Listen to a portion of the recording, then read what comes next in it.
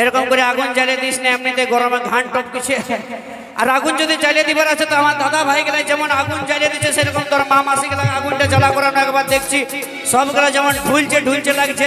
এদিকেরগুলো দেখছ না সবার কেমন ফুল চাওয়াজ আছে নাকি? ফুল চাওয়াজ আছে ফুল টাওয়ার আছে এরকম এদিকেরগুলো টাওয়ারটা দেখছি এরকম যেমন ঝিমায় গেলছে সবগুলো ঢুলছে নাকি? কেউ ঢিলে না এদের মামা সিংলে ঠিক বসে আছে তোদের তুই বেটা জায়গা আছে না আমার কিন্তু ডাউট লাগছে। একটু তুমি একটু জায়গায় দেখো না সবাই মিলে দেখিব আমরা যে মামা সেখানে জায়গা আছে এখানে। তেগো মামা সিং একবার জয়দার করে হাত তালি দাও তো সবাই মিলে দেখি একবার। বাবা। হ্যাঁ গো তোমরা এত বেমান কেন বলো না? হ্যাঁ আমি প্রথম শেষ পর্যন্ত এখন পর্যন্ত বলে আলি যে হাত তালি দাও হাত তালি দাও তখন কিন্তু আমাদের হাত গ্লাস সিমেন্ট দিয়ে ঢালাই করেছিল? বিটি ছেলেটা যাই বলে তোমরা। যেমন সে গোবর পাচ্ছে থপাক থপাক আওয়াজ পাবি আদের এত তো তোমরা কেউ শুনতে পারে? ভালো করে ভালো করে শুনতে পাইছো শুনতেই পাই না ভালো করে। না আরেকটা চান্স দিলে তুমি আরেকবার দিয়া তেগো মামা সিং এই মনে হয় কানে একটু কম শুনতে পাই করে কুলকুলি দুটাই। বাবা যেমন বিয়া করে হলু দিছে সেরকম গুলি। আর তুমি দেখবে মরদ বেটা ছিল গেলার পাওয়ারটা। দাদা দেখাই দিব তো?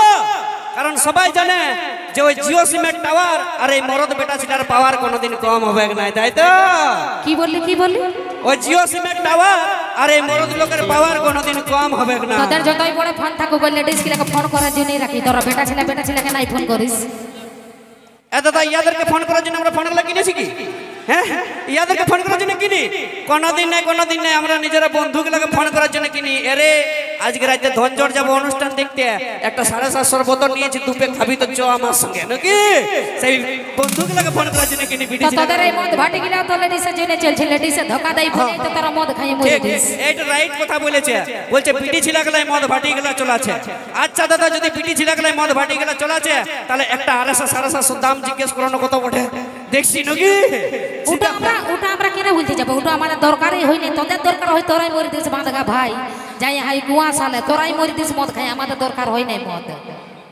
বলছে আমাদের দরকার হয় তোদের দরকার হয় না কেন তোদের পিটি ছিলা গেলে তোমার সাধু সন্ন্যাসী বটে নাকি? হ্যাঁ সাধু সন্ন্যাসী বলে তোদের বেটা ছেলেগুলোর মতন পে হয়ে লই আরও কি বলছে? বলছে আমাদের পিটি ছিলা গেলে তো বেহই আলো। আরও বলছে বেহই আলো। বলো না যদি ইয়াদের ঘরে একটা মুরগি বাচ্চা হারান যায় না মা মাসিদের তেমন ভাবে কি আচলটা গুঁজে নিয়ে ঝগড়া লাগানো পুঢির মুড়াটা তোকে দেখে এলি বলো। এ আমার মুরগিটা খালি লো তোর হজম হবে এরকম করে ঝগড়া লাগছে আর বলছে বেহই আলো। তো যাই হোক দাদা সবাই জানে যে আমি বলি তোদের যদি মুরগি ছিল যাকে আবার কি দরকার? তোদের মাগ বি মদের চাখনা যদি দরকার না হয় আমাদের মা মাসে গেলে আপনি দিয়ে দিয়ে দিবে মদের চাকনা মুরগি বাচ্চা তো দূরের কথা আমরা খাসির মাংস ভাজা দিয়ে মদ খেতে পারি সেই ওখানে আমাদের আছে নাকি? কারণ সবাই জানে যে পাহাড় ক লোকের আছে? এই এই খেলের ক লোকের আছে না সবার সবার আছে নাকি দাদা? সবার পকেটে পকেটে ফুলা ফুলা টাকা। আছে না? আমার তো সন্দেহ লাগছে। কেন? দেখাই দেবো না। তোদের যদি খাসি মিংসা খাওয়া মানে কিনে খাওয়ার মুরাদ থাকতে তাহলে লেডিসের বাপ গিলার কাছে কি তারা পন টাকা মাগিতে যাতিস? এ তোমাদের বেড়া ফুর্তি লাগলে বলো ও পন টাকার মাগের কথাটা বলে দিল? এত দা এটা দু হাজার চব্বিশ সাল বটে। আর এখন সবাই জানে যে লাভ ম্যারেজ মানে অ্যারেঞ্জ ম্যারেজের থেকে বেশি লাভ ম্যারেজ হচ্ছে। আর যে বন্ধুগুলো আমরা ভালোবাসা করে বিয়া করছি শুধুমাত্র ফোনটা করে বান্ধবীটাকে একটাই কথা বলছি যে তোর বাপের কাছে আমি এক টাকাও নিব না তুই যদি ঘরে নাইটি পরে আসলে নাইটিটা পরে আমার ঘরকে চলে আয় নাকি? ওই ভাষাটা সেদিন সিন বোঝে দিন কোন টাকা তারা উঠান দিবে বুঝলি? তার আগে ভাষণ শুনে শুনে বাঙালিতে আসি না সবাই জানে যে পাহাড় जितना भी ऊँचा रहे, रहता है आसमान के नीचे। पहाड़ जितना भी ऊँचा हो, रहता है आसमान के नीचे। और आजकल की लड़की कितनी भी खूबसूरत हो, रहता है हमेशा लड़का लोगों के पीछे। বুঝলে? তোরা পে- শুনে থাকবি। তা আমি বলি আমি তোর অত ভাষণ শুনিবার না। তোর বিটি ছেলের দরকার আছে কি নেই আমাদের দরকার আমার তো দরকার নেই দাদা তোমাদের দরকার আছে কি? কোনো দরকার নেই আমাদের কোনো নাই দরকার। একদম নাই। দেখ তোর ফোনটা যদি কোনো লেডিসের নাম্বার পাই তো আমি পুরো ফরম্যাট মারি দিব। ডিলিট করে দিবেন তুমি একদম না। format, একদম। আমি নিজে তো ঠিক আছে যদি তোর ছেলে বিটি ছেলে দরকার নেই, তো আজ এলা তোর বেটা ছেলে বেটা ছেলে। বিয়া করিস না নাকি? আর একটা কি বলি? তোদের পেছনে আমরা ঘুরি নাকি? তোদের পেছনে তো কথা কথা তোকে দিয়ে শুরু করি নাকি? বলে বিহা তোরা করতে জানি আমরা করতে যাই? বিয়া আমরা করতে চাই এটা মানব তো কি জন্য করতে যাই? তখন বিহা যখন করতে যাই তখন তো- দশ গাড়ি আমাদের পেছন দিকে নাচে। তোদের দশ গাড়ি বোধ যাত্রী আমাদের পেছন দিক আমরা আমাকে বলতে দে এই ছিলার দাদা পারা যায় না আমাকে বলতেই দিছে না আচ্ছা দাদা মানছি আমরা বিহা করতে কিন্তু দোকানে দেখবে কোনো সামানের যদি দরকার থাকে কারও তো দোকানটাকে কিন্তু ওয়াকে যেতে হবে দোকানটা থেকে নিয়ে আসতে হবে। সেরকম তোদের ঘরে তোরাকে বিহা করে নিয়ে আসি কিসের জন্য বন্য? যাইসি নিয়ে আমার জামা কাপড় কাচে দিবি আর বাসনটা ধুয়ে দিবি। সে কাপড় তোদেরকে বিহা করে নিয়ে আসি বুঝলি? এখন কোনো কাপড় কাছাকাছি সিন নাই বরং এখন তোরাকে আমরা পা গিলে দাবা করাই বুঝলিস? পা গেলে দাবা করায় ইতিহাসে সাক্ষী আছে নারায়ণের পাতলটে লক্ষ্মী পা চিপে চিপে এখনও বুড়াই গেল তাও শেষ হইল না বুঝলি সবসময় তোরা কে পা চিপতে ওহো হবে। মানে তুই ওই ফটোটা দেখেছিস আর বাকি ফটো গুলো দেখিস নি দেখেছি দেখেছি।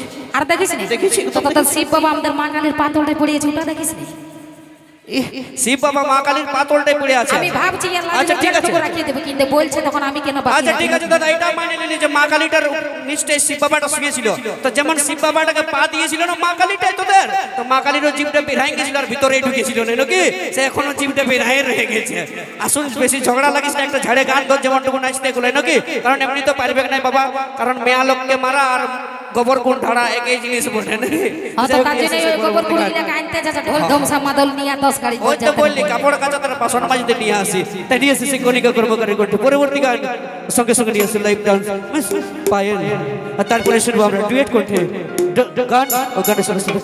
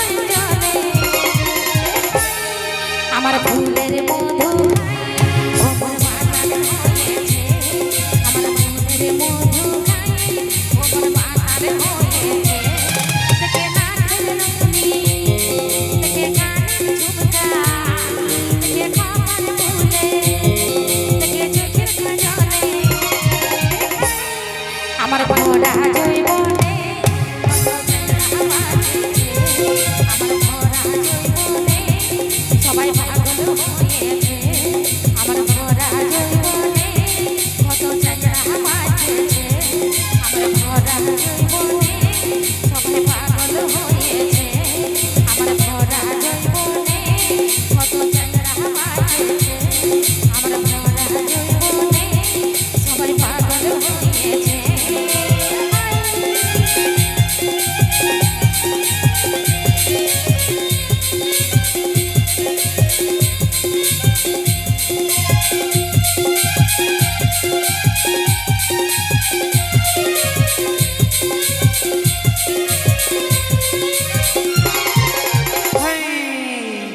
দেখে নাকের ফেফড়ি দেখে কানের কানগুয়া দেখে মাথার ইকুনে ইয়াদের মাথা গলা ভরে গেছে দেখছ তো এইগুলা হচ্ছে বেটে ছিল তার গান হে তো যাই চলে এখন একটা ডুয়েট পারফরমেন্স তারপরে শুনব আমরা ডুয়েট করতে গান ঝলমল শাড়ি তোর ঝলমল সেই সুবিখ্যাত গান এখন মঞ্চ দিয়ে এসেছি আরে শৈলেন্দ্র ও মিস ঋতু তাদের মধ্যে একটি শার্ট সং আমার ব্যবসা বন্ধুদের জন্য চলো পেলে করো